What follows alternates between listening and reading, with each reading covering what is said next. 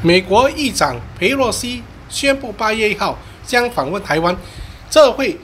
引起中美开战吗？请看这集的佩洛西访台，中美开战。美军的雷根号航母及美国现在的全部三艘航空母舰正驶往台海，这为佩洛西访台作为保护作用，而同时中共在。美国的三艘航母的航迹经过中国的边境东海地区，宣布为实弹演习的区域。中美的对抗究竟如何？佩洛西访台，中美开战会会擦枪走火，走出什么的战火呢？而且是否引起第三次世界大战，或者提前武统台湾的前进而来呢？原来美军早在佩洛西访台之前，已经有一座访台的赴台计划，就是五零七七赴台计划。这个计划就是强调，万一在中共采用武力统治台湾的时候，美国会发动海空军支援台湾，而陆军部分由台湾部队负责。马祖东部既然发现了。中国无人机绕台飞行的航迹，这是否发生了什么挑衅台湾的事件呢？为什么中共的无人机挑在台湾的东引部分飞行呢？这是不是为了刺探军情，还是为了挑衅台湾而来呢？因为佩洛西发言在八月一号访问台湾，而这个时间点是在八月一号，正是中国共产党。的建军节，这完全是中国人民解放军完全不能容忍的。现在中国解放军已经发言，海峡两岸不存在中央中线，双方应该随时随做适应。这意味着中共会向台湾发生军事统武统台湾吗？这个是中共发生了发言了最强硬的对话。而本月二十八号就在东引发生了一宗。中共的无人机不明飞行器两度的烈度上空，这同样在东引发生的无人机裂空事件，在年初曾经发生过一宗，也是从东引部分上空飞过，而且声音十分的强大，震耳欲聋。台湾在东引部分部署了许多防空导弹，这是为了防止中共的对台犯境，采用最近的。路程攻击台湾，所以他们可以发动第一波的防空飞弹。美国的雷根号航母是全世界最大的美国和全世界的航母打击群，现在从新加坡已经慢慢驶往台湾的路程，而且同时美国派出了黎利波两栖攻击舰，上面载坐二十架的舰载机，就是 S 三十五的隐形垂直。隐身战斗机，驰援台湾部分，协助美国雷根号航母保护佩洛西访问台湾这次的任务。佩洛西这次访问台湾的地区，其实是一个暗地计划，其实是一个美国试中国人民解放军到底在空军、海军以及陆军到底是否能够随时的应接。随时的美国驰援台湾，万一解放军武统台湾的时刻的应战计划和作战水平，中共派了两架飞机飞往台湾，其中包括了卡二十八反潜神鹰直升机以及中共的运八反潜机。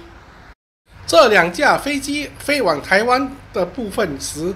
飞得十分的慢，十分的低，离海平线差不多是一百公尺。这两架飞机飞得超低，而且超慢，离台湾的海峡十分的近，距离台湾的横村差不多是五十里。五十里的作用就是一飞就马上到了台湾的领空了上面。这完全是中共的一个抗议的动作。而且大陆现在已经研发了最新型的运九运输机，这是攻台的主要利器。听说这个运九的运输机一次可以运载差不多一百名的作战部队来到台湾上空，这可以发挥积极的对台湾的斩首行动的利器。而这架运九的运输机，听说它的发动机部分，这个发动机是乌克兰帮它建造的，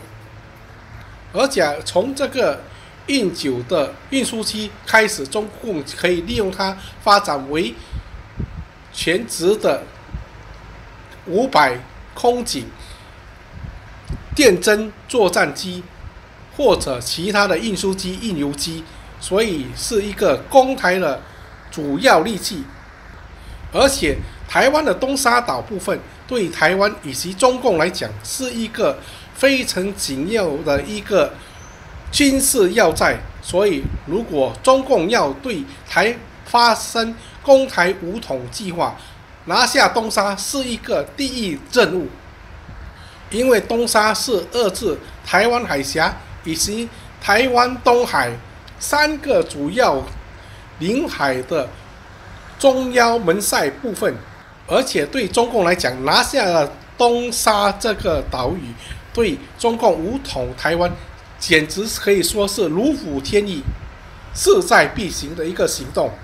而且中共已经秘密发展，已经实行了下水神秘的零三九 C 型隐身的潜艇。这个潜艇可以运载差不多一百个人，不知不觉的来到台湾，而且驰援了这些特种部队来到台湾进行斩首行动。这种不知不觉的潜艇在对台的武统攻击台湾上发生了重要的灵魂斩首行动的重要利器。这个零三九 C 型隐身潜水艇，全长是五十公尺，载重量是三千吨左右，完全是逆中航行，这非常适用于台海斩首行动，让台湾海军以及美国海军完全无法察觉中共对台湾的斩首行动。中国现在在七月二十九号、三十号以及三十一号，在中国的东海部分进行区域的军事演习计划。这是创作美国雷根航母北上台湾海峡两岸的阻止美国雷根号航母北上驰援台湾，以保护佩洛西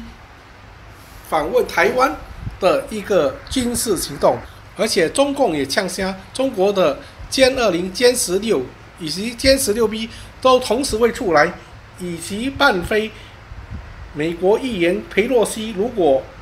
乘搭飞机访问台湾，而且美国也是派出了 RC 一三五以及美国的 V 二隐形轰炸机来到了澳洲部分。听说这次来到澳洲部分的隐形轰炸机总共来了四架，美国的 V。二一二 C 是负责了侦查中国的南沙部分的岛屿的军事要塞。万一中共对东沙岛发生了侵占计划，美国就会动用 B 二隐形轰炸机轰炸中共的南海岛屿。这是一个军事平衡的。行动就是中共拿下台湾的东沙，美国就会轰炸中共的南沙岛屿，作为平和军事的一个重要行动。所以，美国的众议员佩洛西来到访问台湾，在八月一号，而且是中国解放军八月一号的建军节，中共肯定不会拉下容面容忍这口气，所以这肯定会发生一场激烈的。中美开战，而且佩洛西这个人曾经在中国的天安门事件，中国的一九八九年六四天安门事件，在一九九一年的九月，跟着民主党的琼斯和共和党的米勒，他们三个人到中国的人民英雄纪念馆。中共以为他们三个人只是访问、拍拍照，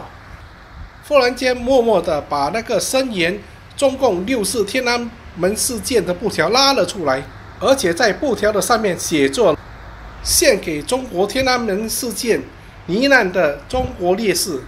当下给中国的警察拿下了，当场中共的警察就把美国的 CNN 的记者及裴洛斯总共七个人当场的架开。所以，中共这场战争会不会发生，完全是寄托在美国众议员裴洛西的身上。这次反台的任务，所以这次八月一号，美国的众议员裴洛西究竟会不会访问台湾？会不会中美两国发生擦枪走火？完全寄托在裴洛斯众议员这个人的身上。我们静观其变，看看这场中美两国的。政治与军事交锋，谢谢大家收看，我们下期再见。